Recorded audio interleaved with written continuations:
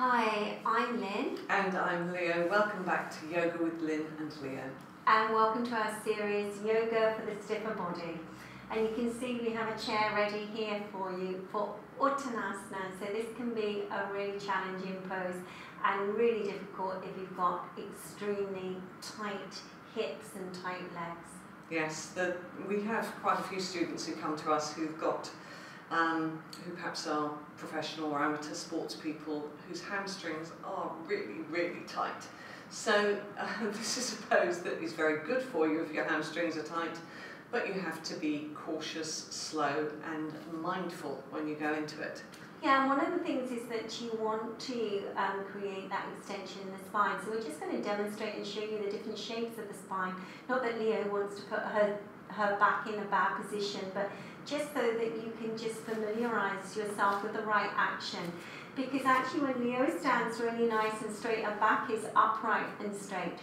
But if she comes into this pose with a very tight leg, tight hamstring, tight hips, then look what happens to the action.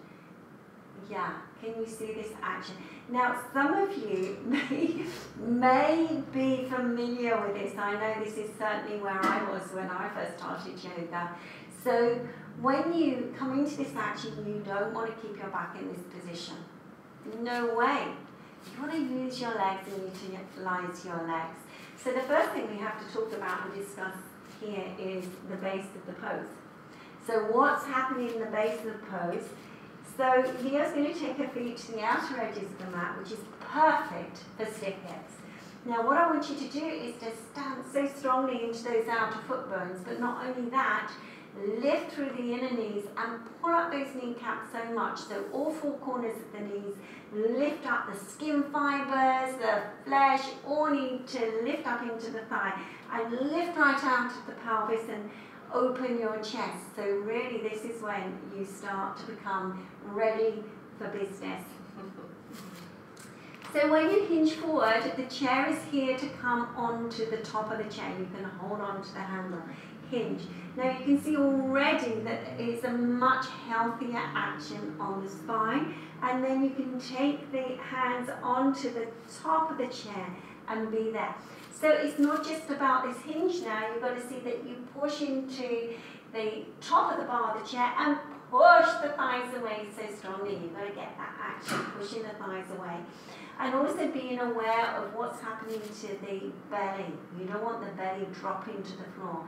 You have to see that there's not a hardness there, but there's a softness that lifts the belly towards the back of the spine. And if this is going really well, you're sharp in the legs, outer foot bones, knees lifting, inner thighs lifting, soft abdomen, then take the hands to the seat of the chair and see if you can maintain that action in your spine. So you're still getting that connection and length throughout the center of the spine, keeping that understanding and awareness. And then you may be able to walk down the legs of the chair so you can see here Leo is holding the chair. So if you're a little bit worried about the chair, be cautious.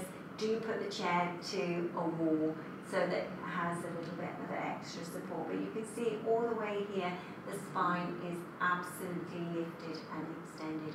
And then to come out of the action, you can walk your hands back onto the seat of the chair, back onto the top of the chair, and then you have to see your abdomen lift so much to the spine to come up. If that's a little bit too much, then some of you will possibly need to soften those knees a little bit.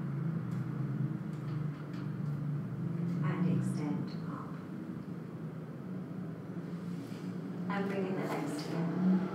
So be kind to yourself and be sure that you're keeping the integrity and the symmetry of the pose.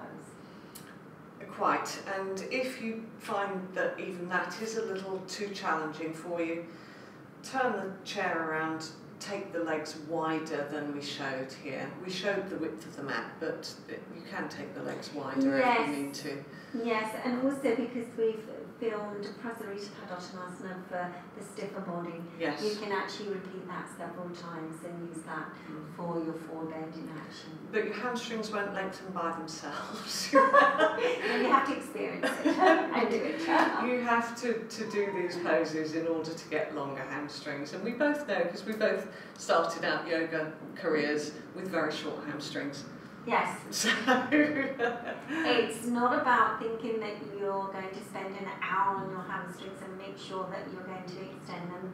Just got to do them little by little by little by little by little. yeah, a little bit every day. That's the way to do it. okay, so thank you for joining us today, and we look forward to seeing you next time. Namaste. Namaste.